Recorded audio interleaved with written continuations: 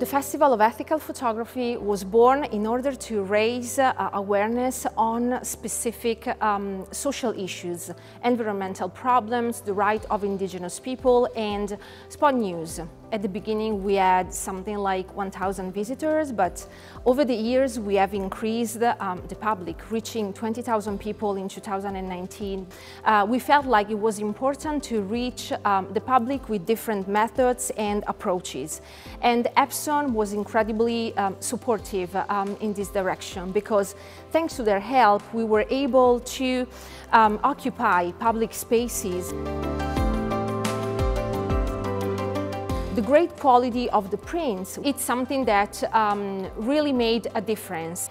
The projection that we have added this year represent um, a great value for our event because um, it doesn't limit uh, the viewing of the pictures to what we are actually able to hang on the wall. Uh, we can offer the visitors an incredible um, immersion experience because um, we can allow um, our public to see what else is behind every shot that the photographer actually um, gave us.